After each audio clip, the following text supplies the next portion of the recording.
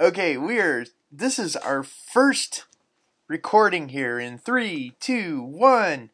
Hello, Megwyn. Hello, Bill. Okay, today is our first call in. Um, well, I guess the initially we're calling it New Directions in Healing Therapy. Now, whatever that might be or how that might develop is yet to be seen. But we've had, just to give people a context for it, we've had conversations the past couple of weeks. Some posts you put on Facebook. We have mutual interests in healing therapy. However, you're coming from a very different perspective than I do. And we just had a couple of weeks of conversations that it's like, you know, I think there's a lot more people that could benefit from it than just from us. So, what if we got on a call and talked to each other each week and had fun like we did, you know, just by ourselves? And now we record it, and there's other people that can benefit and understand from. I don't know. I've I've had close to two decades worth of knowledge and experience in bodywork and martial arts, and you have your own respective um, modalities and things that you have trained with. So let's share that. yes, let's share it. Yeah. Let's see what happens. So I would like right now. I would like to, for you to share your background, like so people get an idea of who Megwyn is, um, and yeah, just just share your background. Okay, well, I would say that I kind of have been on this healing journey for most of my life, Mm-hmm. and that it has been a calling for most of my life. Um, I'd really like to share with people that it really started in many ways in my childhood. Um, as a young child, I was very expressive. I was very always into art and you know wanting to perform and just trying to be as expressive as possible, and that gave me a lot of joy and pleasure. And uh, also in my childhood, I was, you know, unfortunately the victim of sexual trauma. And I, I guess I, I definitely classify as the sort of wounded healer type. So I had that wound, and initially I used uh, performing as a way to start to find myself again and to access the energy of feeling. And I did that for most of my childhood into my early adulthood, where I studied acting at NYU and studied uh, physical approaches to acting. So it was it was kind of a different style than say the classic sort of method acting.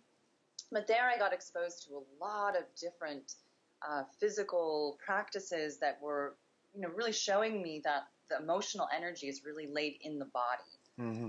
And after I graduated, I was planning on becoming an actress and you know going into that direction.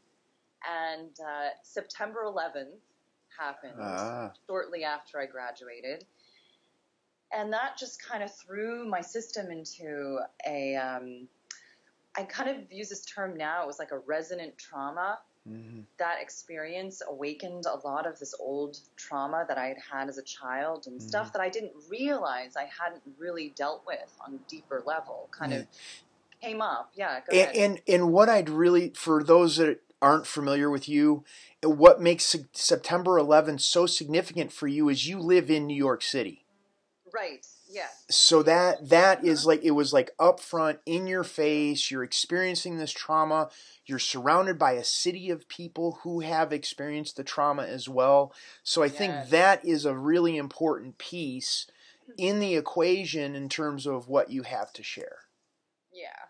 I mean, and just to even set it up even um, a little bit more was that I woke up on September 11th, and that was actually the day that I was to perform for agents and talent scouts. Mm. Um, I had gotten picked out of like 500 students. There was like 26 of us that got to perform for these agents and talent scouts. So this was literally like, you know, the thing I had been waiting for my whole life was like, now I'm gonna get discovered. Now I'm gonna, you know, like it starts, it begins, right?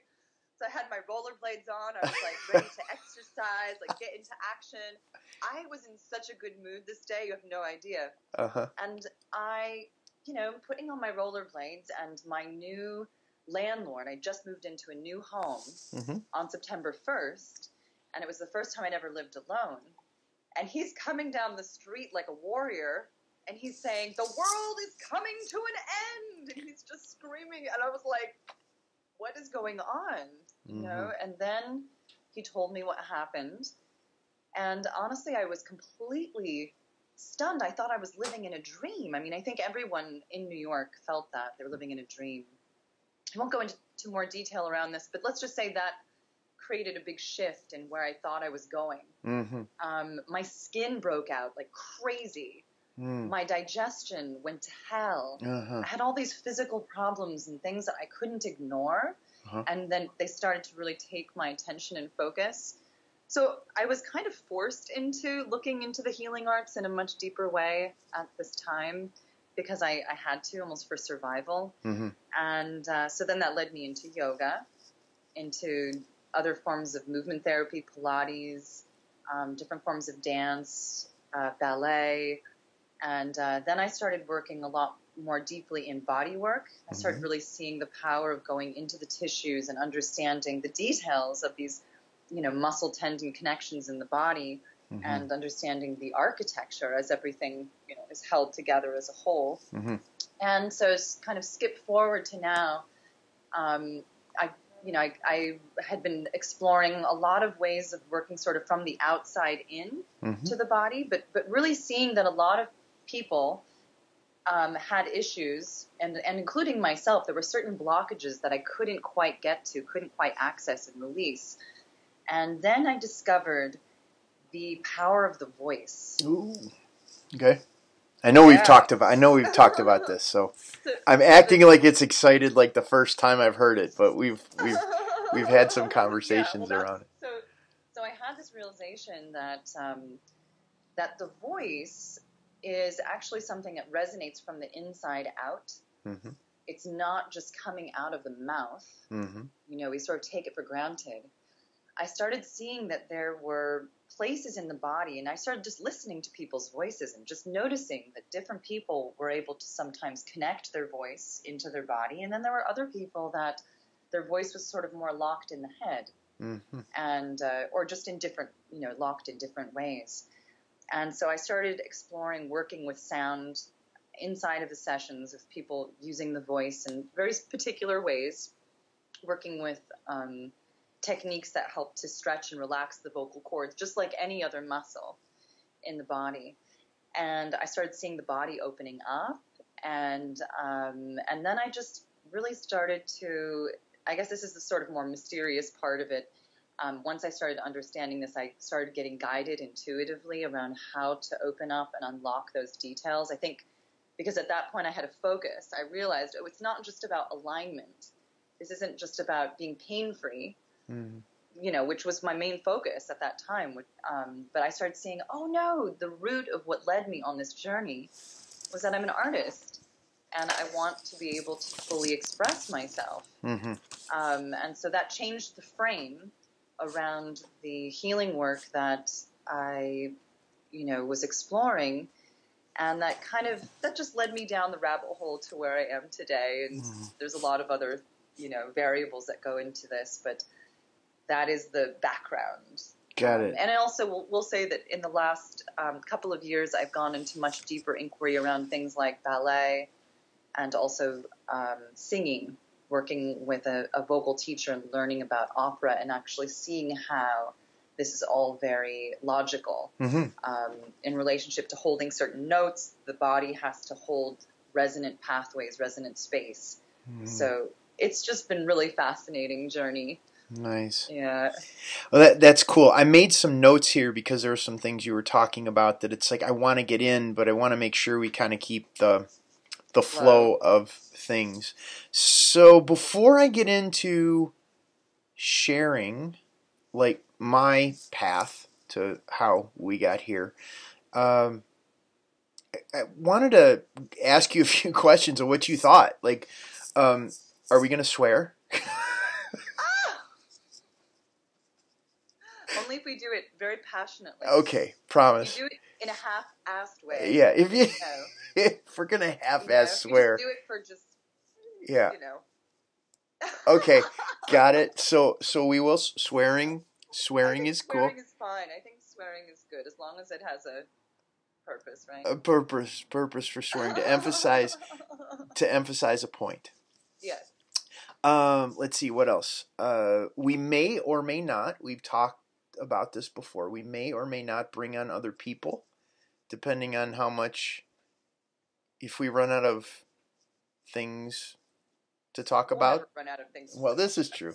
So we may not. We may. We may not bring. I like the idea of bringing on more people too. Yeah, that's cool. Yeah, I have a few. We'll get into that whole dialogue around Yeah. like this new these new paradigms of healing, which I really do sense is going to come through that. But hmm. And is there anything that you think would be really important? I don't know. I think just bringing up what we've been working on lately, like what's really up for us, mm-hmm. and then kind of letting that guide. That seems to be the mm-hmm. the piece that would be really um, interesting, no matter what it is or what it's from.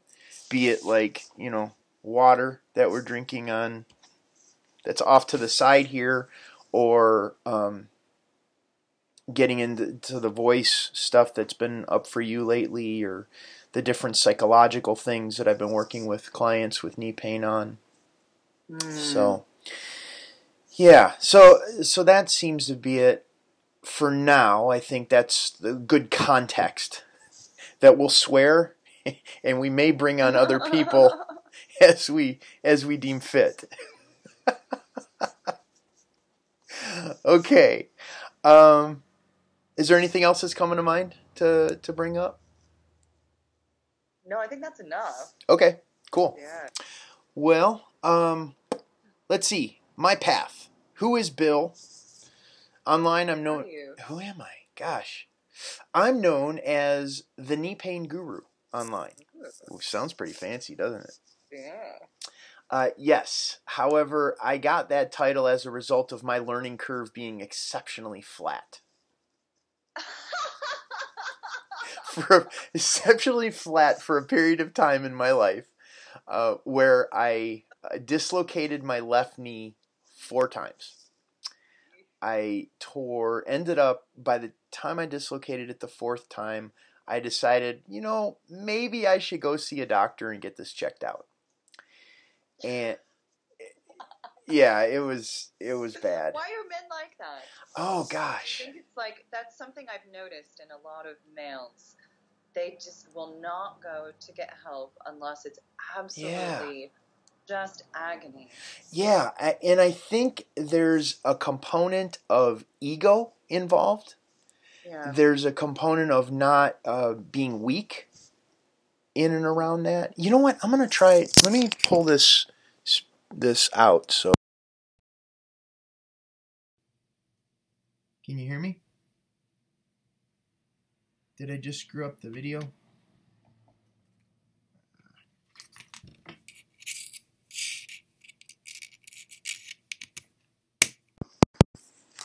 Megwyn? Oh. Yeah. Okay. Am I back? Here. You just kind of froze on me, but Okay, got it. back. Okay. Um, why do men do that? I think it's ego. I think a portion of it is um, stubbornness. A portion of it is not wanting to appear weak. so Um, kind of all ego, no things, but aspects. of yeah, I, I like aspects of the ego. Uh, Yeah. for me, I didn't want. There was a part of me that didn't want to admit that something was wrong. Kind of like the ostrich syndrome. If I stick my head in the sand and I don't deal with it, it'll go away. I know. Be, and Yeah. because because there was this, I'd been in judo for let's see, I injured it in two thousand, so I'd been in judo for eight or nine years, and no matter what the injury was, you know, black eyes, twisted ankles, whatever it was, there was this point where everything healed if given enough time. But then I had this knee thing that was like a joint injury. Something was torn that was Yeah. different than I'd ever had before, and I didn't equate something being torn with my invulnerability. Like I, I Mhm. thought it was like I had this bulletproof shield on my chest or something like that mm. that my body would recover. So there was a disconnect for me in understanding that something that was broken or torn in my knee wasn't going to heal unless I did something different. Mm. And just mm. not wanting to admit it, just not wanting to admit. What was that like in terms of like when you had that realization that you had to do something and shift? What was the feeling like? I'm just curious. Was it like, oh crap, now I have to focus on this? Or was it like, you know what?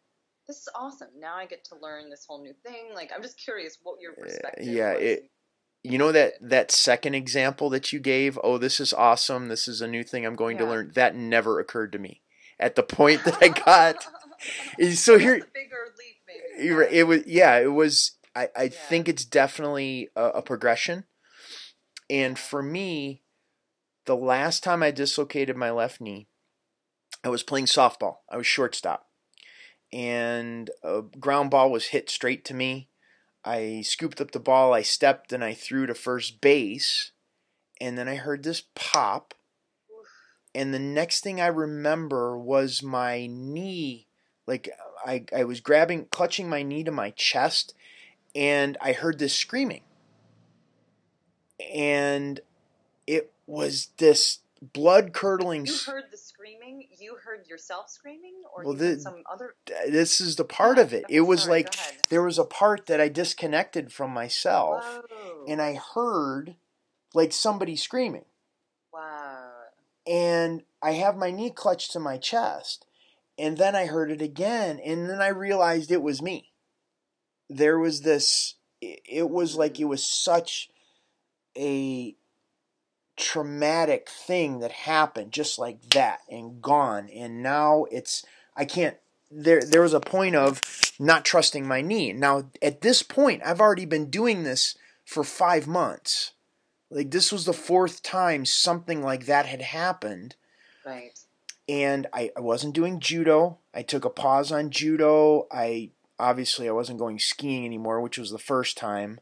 Then I did it second time in judo. Then it was volleyball and then it was softball. And I got to this place where it was like, whoa, this is serious. like, I have no idea what's going on now, and I'm going to need help outside of myself.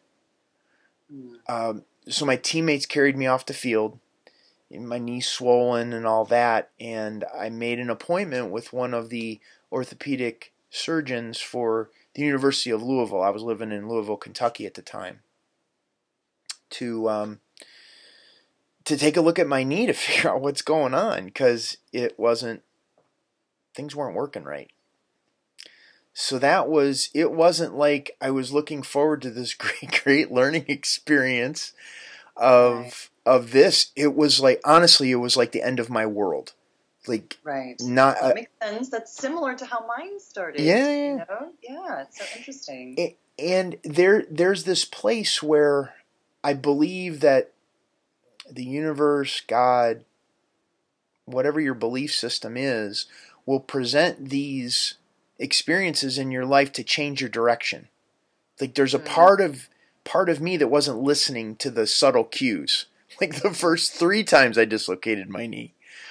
Mm. And finally it had I had to completely tear the ligament to finally get it that I needed to change directions and go and do something else. Um, so that that's yeah. So I ended up going to the doctor. The doctor told me my minute um, the ligament, the ACL ligament in my left knee was torn, and that I need reconstructive surgery. Um, well, I, I actually wouldn't need it. He gave me the option. He's like, there's plenty of people that walk around without ACLs. But I couldn't picture myself not doing judo again, not being in martial arts, and have that fear of my knee popping out like it did that last time. So I had the surgery a month later. They took out, they repaired, they did, they call it a patella replacement. So they took part of my patella tendon, put a pin in my lower leg, in the tibia and a pin in my femur and recreated the ligament in my left knee. They took out two pieces of meniscus and I did three months of physical therapy. Now, in my mind, once they repair the ligament, I'm good to go. Like I'm thinking of it like, you know, Yeah. I'm taking my car to the mechanics. Right. I I just change the tires or I change the oil or I get, you know, whatever repaired, then I'm I'm back on the road. Right. And that's where the journey began. That it Mm. was like, oh, the left leg is as strong as the right leg, but I still have swelling in my knee. I still have pain in my knee. I still have pain in my body and it's compensating and all that. So that's where that's where the learning opportunity came was at that point where it's like, oh geez, all this energy that I had put into martial arts and working out and lifting weights and riding bikes and running now had to be channeled somewhere else. And it was all channeled so I can get back on the judo mat so I could throw people again, Mm. which is what I wanted to do. Mm. So that was 2000 when I had the surgery and I started taking classes and learning things and I I ended up working on clients. I got involved in an osteopathically based style of body work called orthobionomy. We've talked about this. And a Russian martial art Systema which has a huge healing component to it. And over the past 18 years, 19 years going on it was just the accumulation of the study that I've done in those two areas as well as other things that I saw to be applicable to Mm. adding value to what I was doing. Now this is the interesting thing, right? That um, there's no clear path into that healing, and you you know had these very these two very divergent kind of paths, but somehow you were drawn to them. hmm And then I'm I'm I'm assuming when you kind of told me this that you've synergized a lot of these two aspects into the work that you're doing now. Mm. and uh, how because how did you how did you find that like how did you find the confidence to follow these two things like what was it just intuition was it you know pure curiosity like, Uh, what would you say I think don't. this is important for other people like Yeah. you know I- journey I don't know if I had the confidence. Like it, it didn't come out of a confidence thing. It came out of this place of, well, what the hell else am I going to do? I Mm, couldn't do judo, and I my whole identity was wrapped around in judo. You know, in being a guy and sta- you know standing like, how tough can a guy look if he's limping? Right? yeah. How tough can a guy if um in terms of like relationships wise there there's a natural piece that a guy wants to be able to protect the woman that he's with. And and you know be that strong strong strong dude. Yeah. And if if i'm limping if i'm concerned about not even being able to take care of myself, how am I going to be able to take care of anyone else that's around me?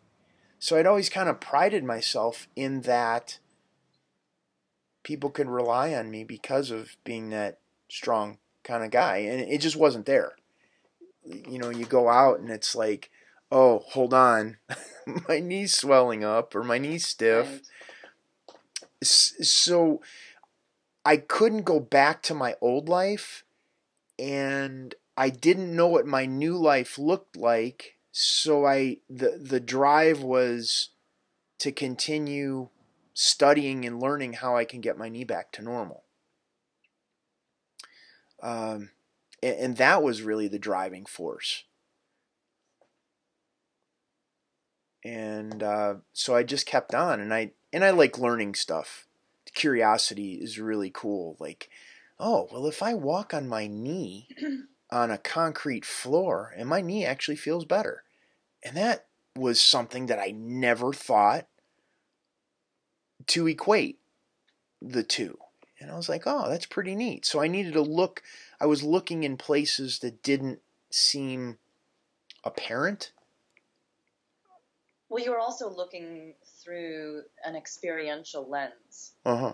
which I think is really important for the conversation of new paradigms in healing. Mm because I think right now, so many of us are dealing with accumulation, not just a physical trauma, but emotional traumas hmm and things, you know, that are passed down, you know, lineage kind of DNA stuff.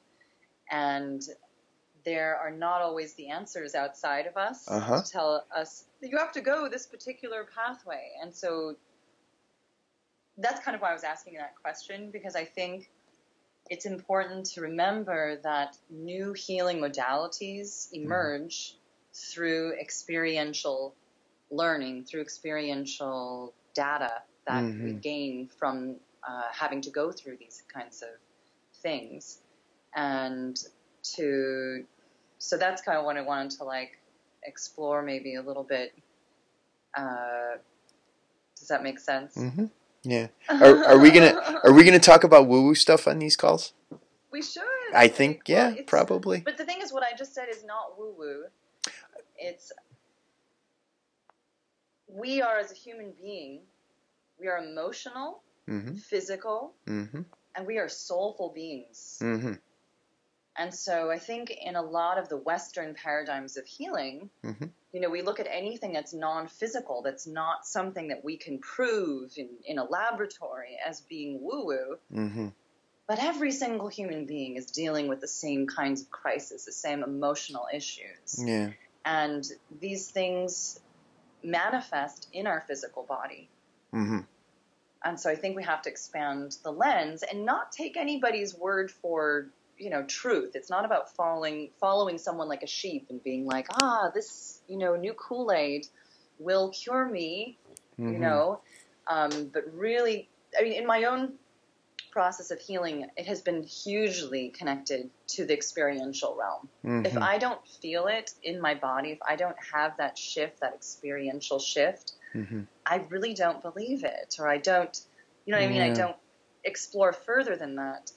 And uh, I think that kind of learning has, in some ways, been mm, not as encouraged. I think it's, uh, you know, we're, we are all learning through the, our experiences, but I think in terms of these new paradigms of healing that are emerging, many of them have come through unique experiences like yours and mine, where we have to kind of go off the beaten path and we've discovered things. hmm And so that's, um, and I think just, you know, even calling it spiritual woo woo, sometimes it's not, I mean, there is spiritual woo woo stuff out there, and I think it's usually things like you just, you know, it's very etheric and kind of more abstract. hmm Um, but what I'm really talking about is that that experiential realm. Like, how does it actually feel in your body? Like you had mentioned, the concrete. hmm That wasn't something that someone had told you. Hmm Wasn't something you had read in a book. Right. It was an experience, and that experience then led you into curi- curiosity, Mhm. right? And so the same thing has been true for my own work. You know, it's this experience of feeling, wow, my voice, I can feel there's a connection between the vibration here and my sexual center where I had been traumatized. And then I look into the anatomy and I see, whoa, the vocal cords and the pelvic floor, they're like very close anatomical mirrors of each other. Yeah. What the hell? Yeah. That made me curious. Uh huh. That made me curious then to go in deeper, you know, and the deeper, you know, I went, the more interesting it became. But Mhm. it was through experiential practices and learning hmm that this healing modality emerged. Um, I will say that that um, there was a lot of skepticism in my own space around what I was discovering. hmm Um, so it wasn't just like I am discovering this thing and it's gonna, you know, it was like I was discovering and I was sharing very carefully. hmm And I, as I started sharing with people that also knew more than me, hmm in certain doma- domains, like working with opera singers or working with trauma experts or working with, you know, people that were brain surgeons or just randomly sort of kind of coming across these different people and then sharing. And then they would say, this actually makes sense in relationship. And then they would give me another piece. Yeah. And then that kind of led me into trusting, you know, myself a lot more. Did you? and I know this to be true for myself. Did you get to be really good at being a chameleon?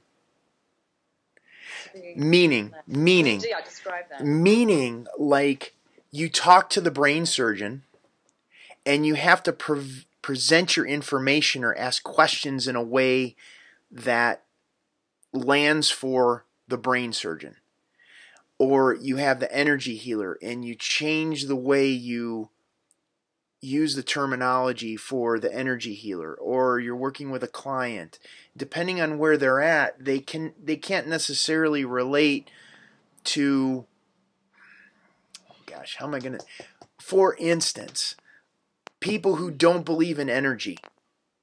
I would present the information like okay let's say you're in a car accident and you flatline and they rush you to the hospital and you go into the emergency room and they shock you back to life with those pads that are plugged into the wall.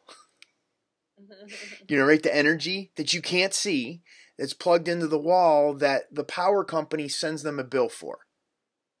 So you That's don't really creative. I didn't. I never say I get that creative. but but what I'm saying but what I'm saying is people who don't believe in energy need to have a concrete example of how energy does apply. I guess from my own work, I don't talk about it in such kind of etheric terms usually.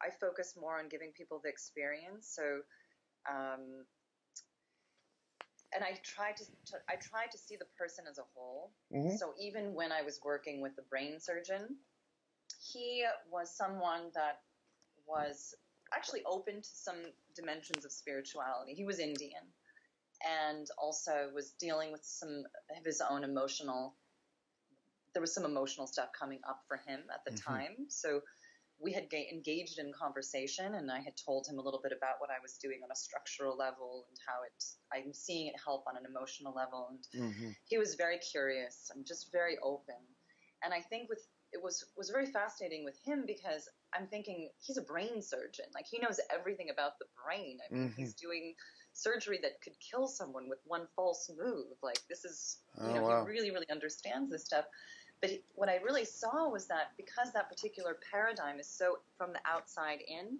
he was craving information that was Mhm. actually coming from a new perspective Mm. so with him and with most people that I do work with, um, because I feel like the strongest grounding point is actually the physical body and understanding how it connects logically. Mm-hmm. Um, and for myself, I know that that has helped me to go deeper into the work. So I, you know, talk about it more in terms of neural pathways. Mm-hmm. As these neural pathways open up, you know, the energy starts flowing Mm-hmm. and so with him that really worked well he you know he he really understood oh yeah you're right absolutely all this neural connection points are here and uh, you know it really made sense to him but i didn't talk about it in terms of like um, and i do see this though you know more within my work that there are these meridians in the body Mhm. and um, you know there have been more recent studies around this where they have been finding studies that I can't say that they've proven the presence of meridians, but it looks like there there definitely are these meridians, Mhm. right? Um, but for me, I I focused more of my own work around.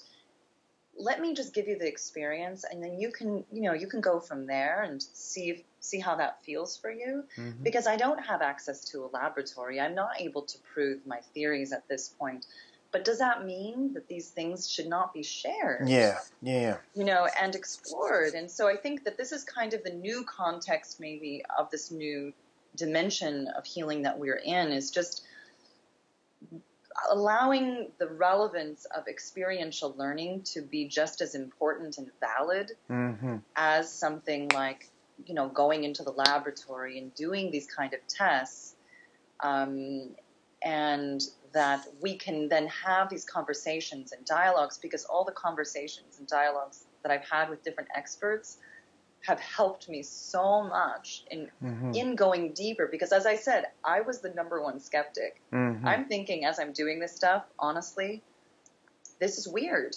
This Mm-hmm. is strange. I can't share this with people. It's too weird. How am I going to explain it? Like, for instance, there was something that was happening when I started to. I think what happens a lot in people's bodies is that as trauma gets released, it's like an internal medicine. It's this internal alchemy sometimes that, that comes up. Our body teaches us how to heal itself. Right. This has been my experience.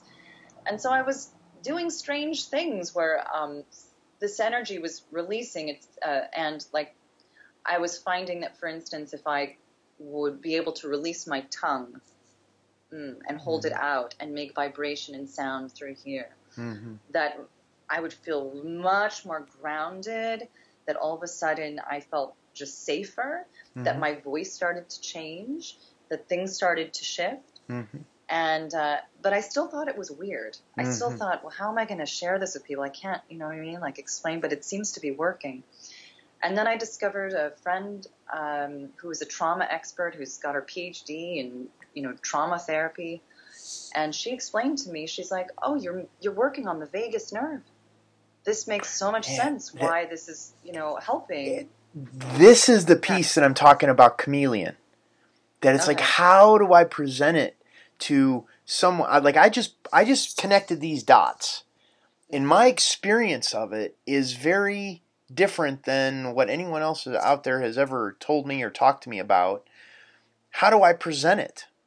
How do Yeah. how do I present it to my client? How do I talk to other professionals about it? Because I'm still trying to gel this in my head.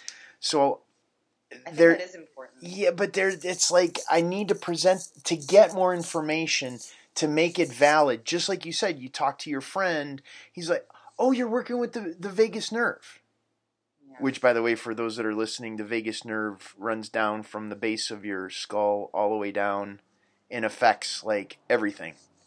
Yeah, pretty much on many, many organs. So it really is the, the nerve that connects our brain to our visceral organs, and it's Mhm. also connected to our fight or flight response. Our stomach, Yeah. pregnant women who get sick, the vagus nerve is like all whacked out because, you know, it's like know. Yeah, it's like the whole uh, morning sickness thing.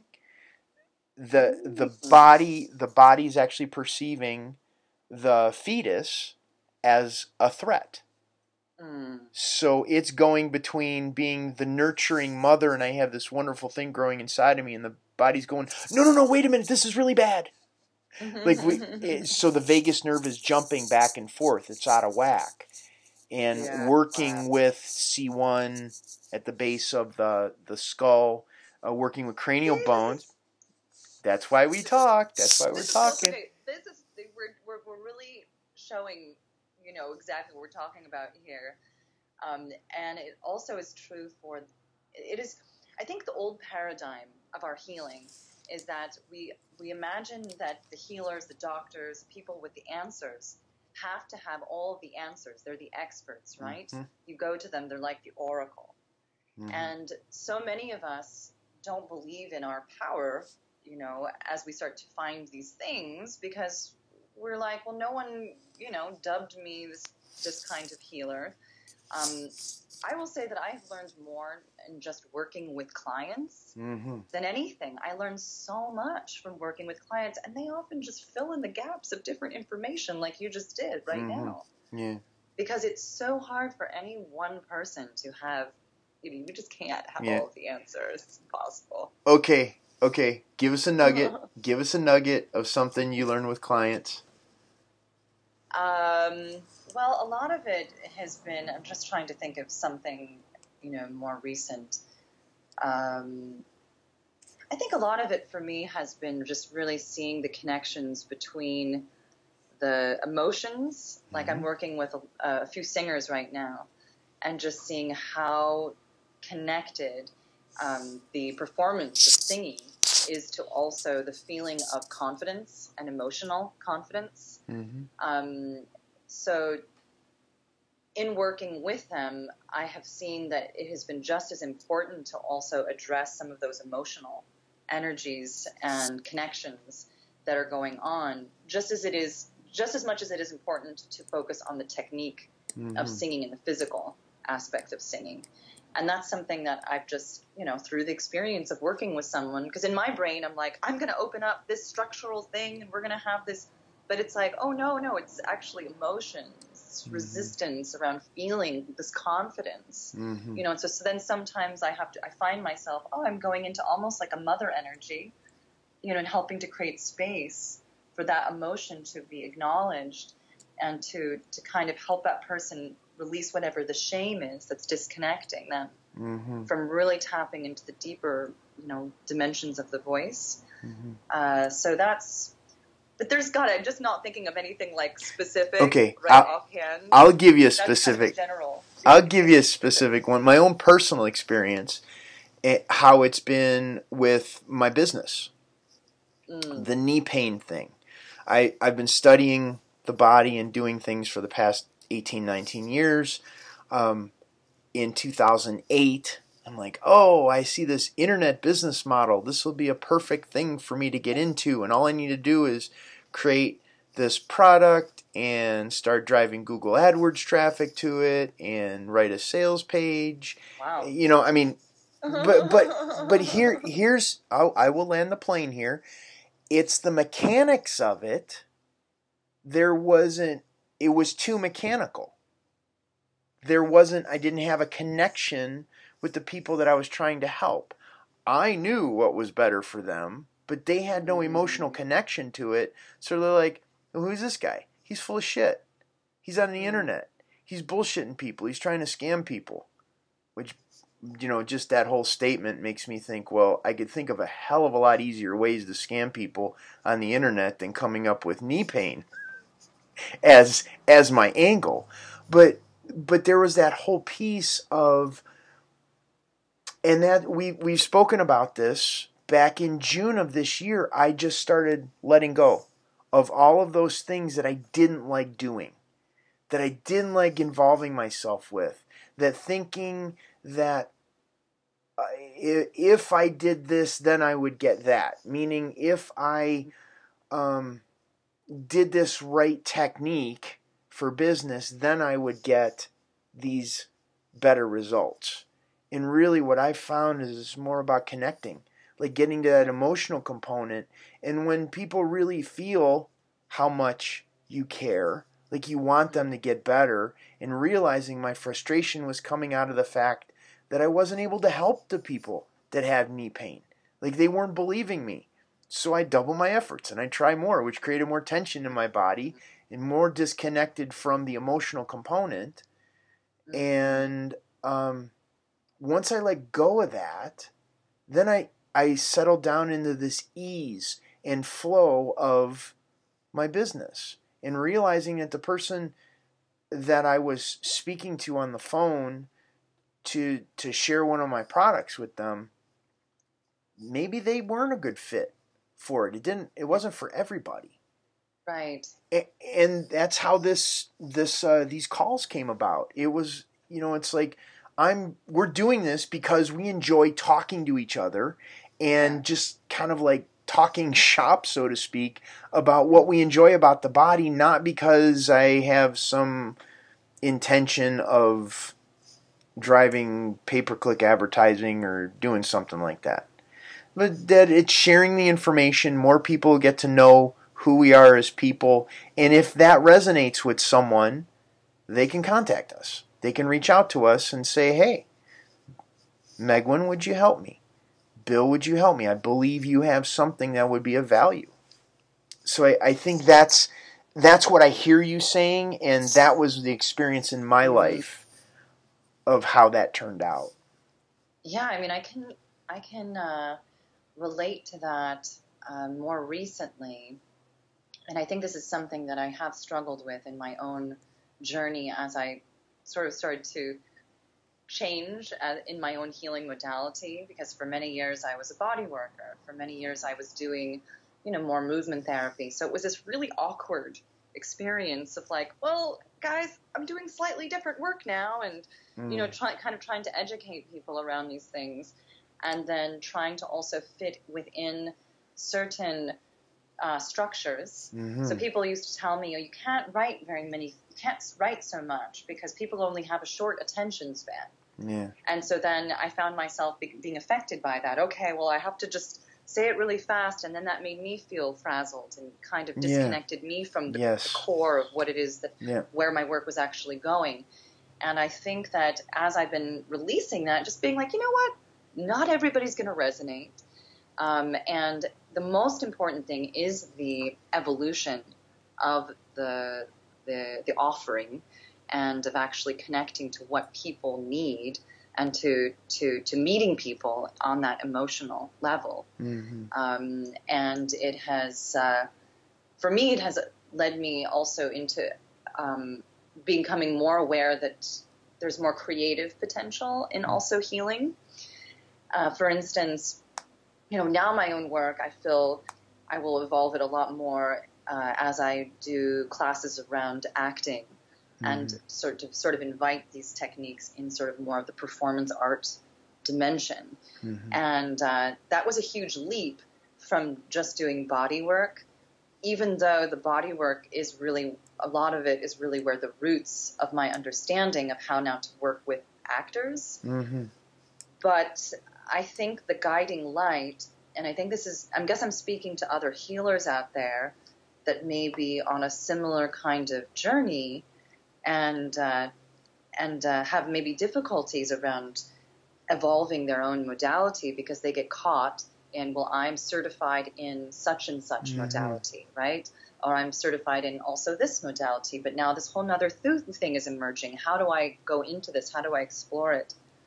So for me the the guiding light is actually what what kind of class would I want? You know, what Mhm. kind of experience would I need to kind of go into that next dimension of experiencing, you know, the freedom, um, and that has led me into be, kind of finding these new creative forms, Mm-hmm. and also finding the people, you know, that really resonate on that same wavelength Mm-hmm. um, because you know, and in the end, I think that's really how new um, new things do emerge. We have to follow wherever our passion actually is, and I think that can be challenging. But obviously, having a community like what we're creating inside of this conversation Mm-hmm. of people that are experts in different kinds of uh, domains really helps to to to kind of foster that kind of evolution Yeah. in healing. I think when when people realize they're not alone, like that's what the knee pain was. When I had knee pain, I felt like I was the only one in the world that had knee pain. Felt isolated. I'm sure when you experience the trauma that you experience and you're going through it, there's this sense of feeling isolated and you don't know who to talk to because everyone seems it already feels threatening. So how do I find other people that feel threatened in the same way that I've experienced the threatening. So I, I think um, in you know talking about the new directions in healing therapy is about kind of shining that being that lighthouse for other people to go, hey, oh they're doing this thing and it sounds like it makes sense to me. And I, I can really relate with them and resonate with them and, and reach out and get support from them or listen to what they're saying and go, yeah, yeah, they get it. They understand it. And I think there's clients that struggle with this, people that have experienced trauma or pain in their body. There's also therapists that are out there that are on their path, earlier versions of ourselves that are Mhm. kind of like, man, what am I doing? What am I, how am I figuring this out? Um, they're, yeah, they're right. My modality, I, I learned it and I see the value in it, but I've had other experiences that have evolved that. So now it looks Yeah. different. Yeah, that's probably the hardest leap to make. Actually, I would say, for for me, for myself, it was the hardest leap to go from learning uh, someone else's healing modality, which was brilliant Mm-hmm. and uh, very developed, into there's still something more. There's still something that there's another piece here. Mm-hmm. And um, I think that that is true. That we do need, you know, to be kind of guiding light around that because I'm I know that that happens for so many people, and I'm sure it's happening on a very large scale in the times that we are in because it's calling for these new healing modalities to come forth. Mm-hmm. Um, we are at a very interesting time where post traumatic stress disorder is at an all time high. We just had this crazy election. Uh, it feels like September 11th again Yeah. in New York. it feels like this kind of, I mean, but even worse in some ways, I, I, I have to say, like, there's something about, and I don't say worse to be any kind of doomsday, I just mean that the actual trauma feels more, more, uh, there's more consciousness around, Mhm. oh my God, we are in a state of trauma. hmm And um, I think that I think that the internet is going to be one of the most important aspects to actually emerging these new healing modalities. Um, because it's going to allow us to share our thoughts, our ideas, to become beacons inside of these different strands. I think Mhm. we're all part of one nervous system hmm you know and so there uh, the internet is going to help us to come together in har- a kind of harmonic way in in a kind of um, we'll, we'll be able to more easily synergize some of these different aspects i think we're just kind of beginning to find that Mhm. space um, through conversations uh, through hopefully more and more experiential forms of learning that we can do you know directly through the internet. Hmm and um, um, but I think that we need to look at the times that we are in as a very amazing opportunity right now to also merge together the aspects of science and technology and spirituality hmm that never before in history have we been at a time where these aspects could merge so easily hmm because we have the access to the information, the knowledge is within us. Each individual hmm brings their own body of knowledge, hmm you know, and that's really exciting because in the old model of healing, there there is this still the dimension of ego. My healing modality, it's the way, hmm you know. I have the answers. You know, there's this kind of um, They they have an they have an answer. There is Yes. an answer. Yes. Right. and that's this, and, and, and so, but I think now it's like, I actually really see the opportunity as a, there's a lot of, that's like so much weight and responsibility, first of all, on any one person. Okay. So even if someone has a lot of the answers, that is too much responsibility for Mm. one person. Like, that really is not personally where I would like to be. Right. I want to be able to live my life, to be relaxed, to stay in my vulnerability, to, to learn, to be open, to connect, you know, to not have to be like the oracle. Right.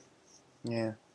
No one, no, nobody has to be the oracle. Maybe as we come together, we can be the oracle together. Yeah. It, well, there's that, and and uh, as I'm thinking about this process, I think people who are in pain and trauma, they're looking for a singular answer, right. A- instead of looking for a piece from someone who has to share what they have to share, and using that along their path. Yeah. I think there's something, though, important to say is that um, if there is something to commitment to a particular path um, in the sense that, you know, in order to get the benefits from any kind of Ooh, healing yeah. modality, we can't just like try it out one day and then, you know, I've had people do an exercise, you know, that I've taught them and they're like, Ooh, but I still have that block in my throat. And I, and like, it's going to take more Yeah. than one time doing Yeah. this exercise, you know? And that's the sort of culture that we, you know, it's like this quick fix thing. You want to go to that fixer upper, you know, mm. person to fix you. And we have to look at healing in a completely new way. Healing is actually this creative opportunity to understand the deeper dimensions. I think finding the root of what is that that access point into actually clearing whatever that mm-hmm. is out completely. Yeah. And I think it's going to be different for every person. But there is something to committing. You know, Yeah. it is important. Like if you're going to study with someone, do commit to learning with that person. If you feel that you have a synergy, and also have that meta level awareness that this person does not necessarily have all the answers, Yeah. and that's okay. R- remind reminds me of that saying. Um, if you, I don't remember where it came from, but it says if you meet the Buddha along the way, kill him. But, but it's that that idea that the moment we put somebody up on a pedestal and we think they're gonna do the be all end all and have all the answers for me, that's the moment that they fall off that pedestal and you realize they have no clothes on, you know, and you're like so let down and so upset because they lied to me and they didn't tell me the truth. And the reality of it is that no one is like that that has all the answers. And just going into that understanding that no one has all the answers allows us that space for that person to be human, us to be human, and to learn and see that it's it's a journey, not a destination. Yeah, and I, I like that idea of journey, not destination. And one frame that I've been looking at this through is that reframing healing altogether as a creative project, as a creative That's great. Yeah. as a Yep. creative project, just like you're creating anything, um, making a painting.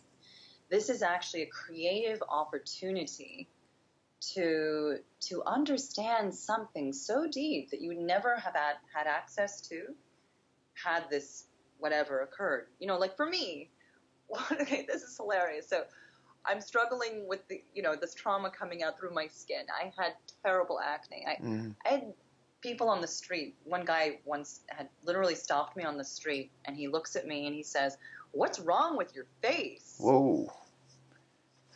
Yeah, That's I that's couldn't look at myself in the mirror. Uh-huh. That's how bad it was. And I remember hearing a, a voice inside, and the voice said, "Take a picture of your face because you won't have this forever. You're going to understand why you had to go through this." Mhm. and you know the irony that now i'm doing courses on the face. Uh, you know and i'm in front i'm on the camera. I never i couldn't look at myself in the mirror hey. while you know going to the bathroom. Mhm. that's how deep you know? So i think I didn't under i couldn't understand back then you know that that was where it was headed. But i think that's important for people to understand that that i you know one goes from point a to point z. And in order to stay in the game Mhm. in order to get to z you got to look at it as a creative opportunity Yep. you got to because you will not get the answers from one person Mm-hmm. Okay. Well, we initially talked about this being like a 30 minute. i knew it was going to be an hour Yeah, Okay. kind of you know need to Have time to warm up. Have time to warm up a little bit. And it's fine. No, it's okay. And I think um, in in the future, once we, because this we're recording this on Skype, and as we get the technology worked out, this will be a live stream Mm. where people can actually type in questions, so we can set aside a time to like look at who's asking questions or what questions we have received, and we can talk about those things or give us a direction or a topic to talk about. Questions are fun. I Questions know. curiosity. Make them good them. though. Don't don't ask like you gotta ask good questions. Shaving people about their questions. Yes, already. Yes. Well, well, people won't do their due diligence. It's like I here, here's a for instance. Like I'll get people on the internet, and they'll be like, "Well, it hurts when I extend my knee. What's wrong with my knee?" And they didn't go to a doctor and get a diagnosis. So they're looking for me to be like the okay, well, we doctor. filter the questions. We We're will filter the answer- questions. We are going to answer the questions that seem the most exciting. Perfect. Yes. So the people that ask poor questions, we won't shame them. They won't even make it up on here. We will ignore you. I'll be like that. Okay. That is good. That's a good motivator. Good motivator to ask good questions. Okay. Well, cool. Uh, so, how would people get in touch with you if they wanted to chat with you more? What would be the way to do it? Well, you can go to my website, which Mhm. is embodyvoice.com. Okay. And the best way is really to sign up for the newsletter because I do send out regular newsletters and um, really keep people in this conversation Mhm. around this dimension of healing. And um, so that's really the best way So is em- to, to get go to my website www.embodyvoice. Okay. I will. We'll put that. We'll put that in the description of the video, Yeah. so it's all spelled correctly and the link works. So we'll do that. Embodyvoice.com, and then um, yeah. So we will put that in the description for those who want to contact me. You can go to the kneepainguru.com. Get on my list. If you want to send me an email, you can send it to customer service at the kneepainguru.com and those will get to me as well. Um, but that's we're gonna wrap it up for today. We will do these well, once a week for now. Once a week, we'll get to chat. So much fun. And uh, gosh, I'm looking at my notes. I'm like, we didn't even get to like some of the fun stuff, like art dom. Ah! Next time. Next time, Next time. This is a pre preview. art dom. What what do we say? And for for our next call, Megwyn next call. Megwyn will talk about art dom. Yeah, art doming. Whoa. Okay. Yeah. Well, cool. So we're gonna wrap it up for today. Uh, this will be on my YouTube channel, the Knee Pain Guru uh, YouTube channel, where all of these videos will be housed. And like I said, reach out to us if you have any uh, questions or uh, support you need from either of us. Oh, and they can follow me on Twitter. Twitter is this new. I I never really was into Twitter, but I just love Twitter. Yeah, And on my Twitter account, which is basically M E G W Y N, we'll get that. I We'll get love in the notes. to share Yeah. different things about it. I love to explore all sorts of different things on my Twitter account, but I, I people follow me on Twitter. You're a tweeter. I will, I'm a tweeter now. Nice. Very nice. Well, cool. Well, we'll put all of our social media links in the description as well for whoever would like to follow us and, and be our friends. Please, please. No, she. I, No. I don't care if you want to be my friend or not. I'm okay. I like you, oh. Megwyn. We're good. I'm good with that. Okay, I'm good too. Okay. We're gonna we're gonna wrap it up for today, and we will see everybody next week. Bye.